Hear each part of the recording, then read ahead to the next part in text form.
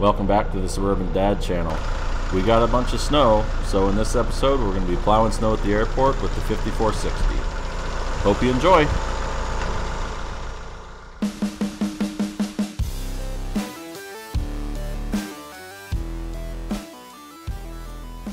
Good morning. It is 5 a.m. on January 18th, and we are in the middle of a winter storm in Colorado. And so, what that means is I got to go down to the airport and plow some more snow. So, but first, I got to get out of my driveway and get there. And as you can see, it is a winter wonderland here. the car is covered and uh, the streets are covered and they really do a very poor job of plowing our streets so I got to drive down to the airport here we go You'll notice me taking a windshield cover off here in this video. My wife bought me that a couple years ago and man has it been nice. Uh, it just keeps the keeps the ice from forming on the windshield. And as we're leaving the neighborhood here, I just want to make a public service announcement. If you have not yet learned how to drive in snow, please go out and practice. I drive a two-wheel drive Hyundai Sonata and one of my favorite winter games is to see how many four-wheel drives I can pass on the way to the airport. Here we go. Now to be fair, there's more to driving in snow than just going. You need to be able to stop as well. And, and really, that's what four-wheel drive does for is it makes it so you can go. Doesn't necessarily make it so you can stop. Although, if you have a stick shift or a or manual transmission, four-wheel drive stopping is really easy. You just downshift and the wheels slow down, the car slows down. I don't think that's the case with most of the vehicles I passed this morning. I think the real problem is that people just really have never been educated in how to drive in snow. As long as the wheels are straight and you're not turning or stopping, you can you can drive fast on snow. I think what it requires is an awareness of what is in front of you, you know, keeping track of the other cars on the road and saying, okay, is that guy going to stop quickly or, or attempt to stop quickly in front of me? Or is somebody turning or is somebody going to pull out? If you're not paying attention, you can get in real trouble.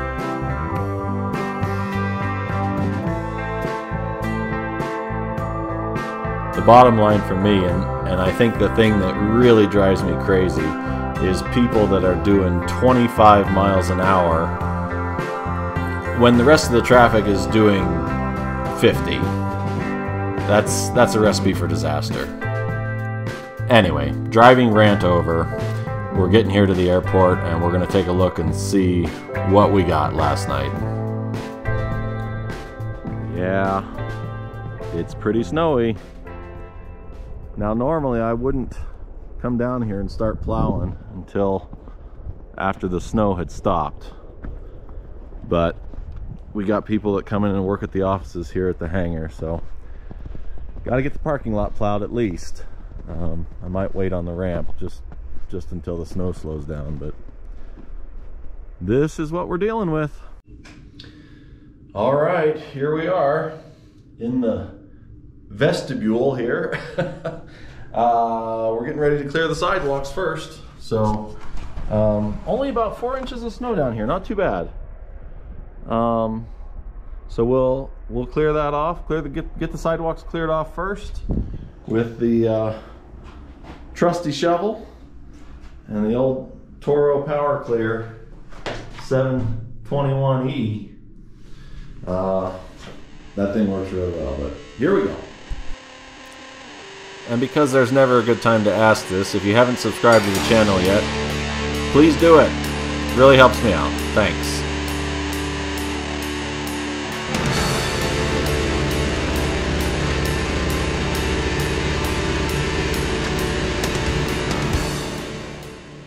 I decided I'd show you the snowblower in real time.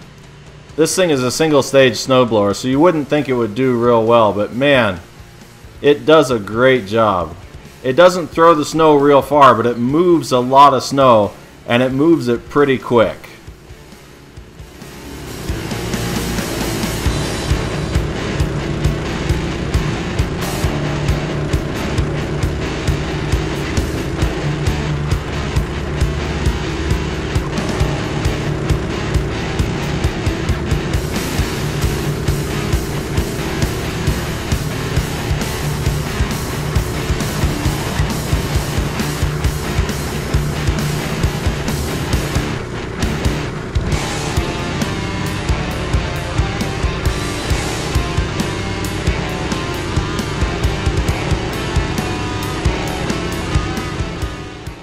I want to point out one of the only downsides of storing this thing inside.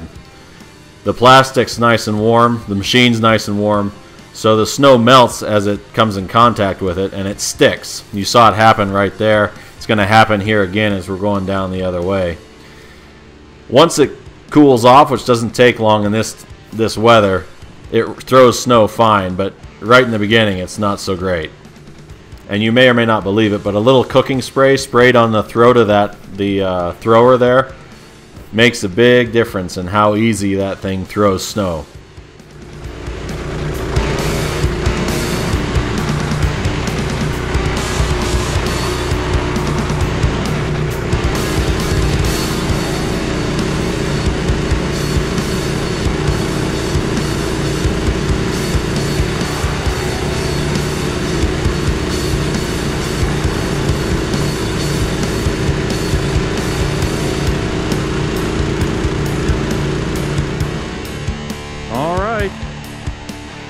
Sidewalks cleaned up for now.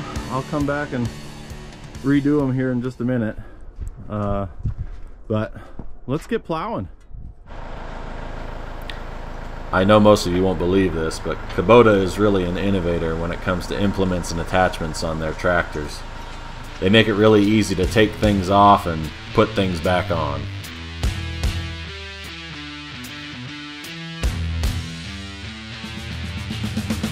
This is a classic cable drive bifold door that's on a lot of different hangars.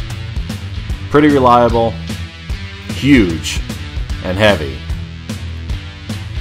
You really wouldn't want the cables to give out while you're underneath of it because that would be a really bad day. We didn't get as much snow this time as we have previously, so I was able to get this done a lot quicker. You're able to take a lot bigger bite of snow when you have less snow to move.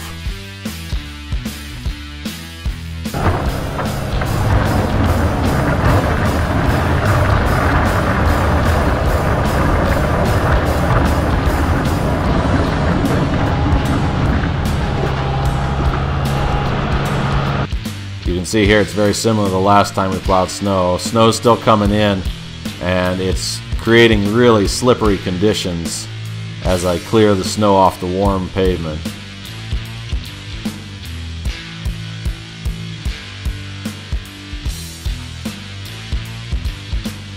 And because I don't have a car in the way, now I'm able to clear this back part of the parking lot in just a couple passes instead of pushing all the snow to the back. Makes it way easier when you don't have a car in the way.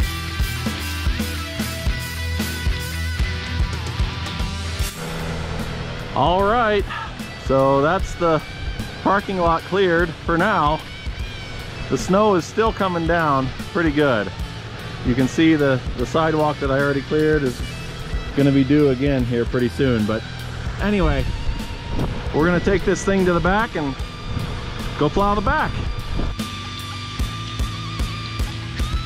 Several of you have mentioned in the comments that I should get either wings on my plow or maybe a bigger plow or a, uh, a blower on the on the tractor. Um, we really don't get a ton of snow out here. I mean, it, it seems like I'm moving it quite a bit this year, but we really run that thing four or five times a year, and that's about it. And so it really doesn't make sense for us to make the investment in, in better equipment uh, when we just have this small ramp to clear. So, and I don't mind doing it. It's it's a lot of fun. All right, got her all done. Got the sidewalk salted, so those are all done. and the first people that are showing up to the offices are here, so they had nice clean sidewalks to walk on. Got to get some more salt down right there, but the tractor did a great job as always. And uh, that's it. The snow's still coming down, but we're we're gonna call it for the day. So um, you can see over here that uh, airport's still moving snow and planes are covered in it. But anyway, hope you have a good day, and uh, we'll catch you next time we're plowing out here.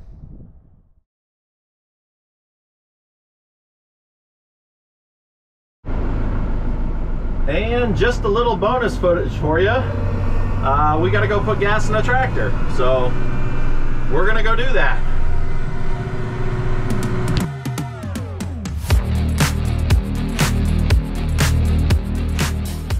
Putting gas in the tractor is one of the few times that I actually take it off of our property. It's nice that there's a gas station right around the corner. Makes it really easy to fill it up.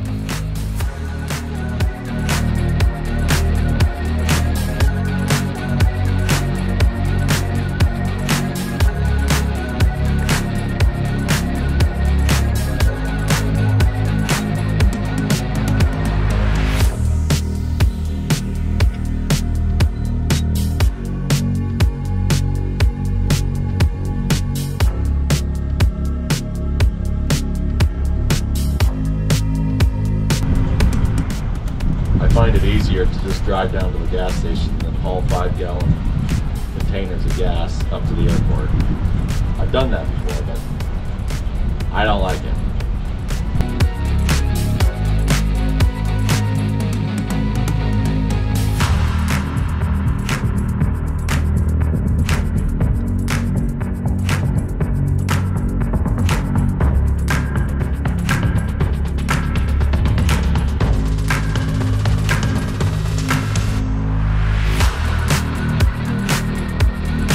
Automatic shut off with the Kubota. So you got to watch it when you're filling it because you don't want to you don't want it coming out and squirting you. We're just about there. A lot of foam.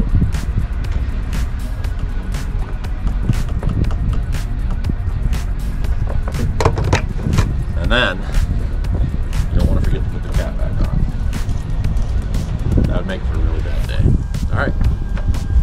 receipt, we'll head back.